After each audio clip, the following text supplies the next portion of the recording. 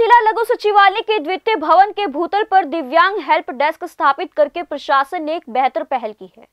उपायुक्त निशांत कुमार यादव ने शुक्रवार को दिव्यांग सहायता केंद्र हेल्प डेस्क का उद्घाटन किया। इस मौके पर नगराधीश अभय सिंह जांगड़ा तथा जिला समाज कल्याण विभाग के अन्वेक्षक सुरेंद्र राणा उपस्थित रहे।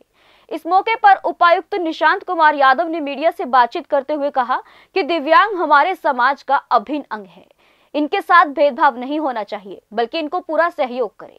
उन्होंने कहा कि विभिन्न विभागों के कार्यालयों में दिव्यांग जनों को सरकारी योजनाओं का लाभ उठाने के लिए आना जाना होता है। उनकी सहायता के लिए प्रशासन की ओर से दिव्यांग सहायता केंद्र स्थापित किया गया है। इस केंद्र में एक इंस्ट्रक्टर व सेवादार की ड्यूटी लगाई गई है, जो कि दिव्यांगों की पूरी मदद करेंगे। इतना ही नहीं, सहायता केंद्र में दिव्यांग जनों के लिए बैठने तथा पानी आदि की पूरी व्यवस्था की गई है। उपायुक्त ने इस अवसर पर इंस्ट्रक्टर को निर्देश दिए कि वे एक रजिस्टर मेंटेन करेंगे, जिसमें प्रत्येक दिन आने वाले दिव्यांगों का पूरा विवरण रहेगा तथा उनकी पूरी तरह से सहायता करेंगे। केंद्र के बनने से दिव्यांगों को विभिन्न कार्यालयों के चक्कर नहीं लगाने पड़ेंगे। यहाँ पर तैनात इंस्ट्रक्टर उनकी हर संभव मदद करेगा। उन्होंने यह भी बताया कि सभी विभागों के अधिकारियों को निर्देश दिए गए हैं कि अपने अपने कार्यालयों में दिव्यांगों को प्राथमिकता दें और उन्हें किसी प्रकार की दिक्कत न आने दें। दिव्यांग सहायता केंद्र जो है हमने आज शुरू किया है करनाल में, और इसमें जो भी हमारे दिव्यांगजन हैं, वो यहाँ पे सर्विस अवेल करने के लिए आ सकते हैं। उनको सरकारी दफ्तरों में अलग अलग जगह धक्के खाने की आवश्यकता नहीं है। वो यहाँ पे एक सिंगल पॉइंट हमने सिस्टम शुरू कर दिया।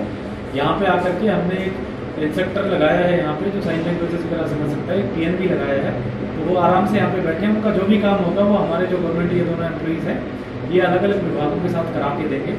इसके लिए हमने हमारे एम्प्लॉयज़ को आई कार्ड्स वगैरह भी दिए हैं विभागों को भी हमने जागरूक किया है कि ये काम प्रायोरिटी पे हो ताकि किसी भी दिव्यांग को सरकारी दफ्तरों में अलग अलग जगह जाना ना पड़े। एक सिंगल विंडो सिस्टम है वो सीधा यहाँ पे आकर के बैठ सकता है उसका काम यहाँ बैठ के ही करवा के दिया जाए सर लोगों की सुविधा के लिए ये जो डेस्क बनाया गया इस पर कितने लोग तैनात रहेंगे जो उनको उनकी समस्या सुन के? इसमें एक हमने इंस्ट्रक्टर लगाया है और एक हमारा पीए लगाया है अभी। ज़रूरत पड़ी तो और आगे ऑपरेटर या पीए की जैसे ज़रूरत पड़ेगी वैसे हम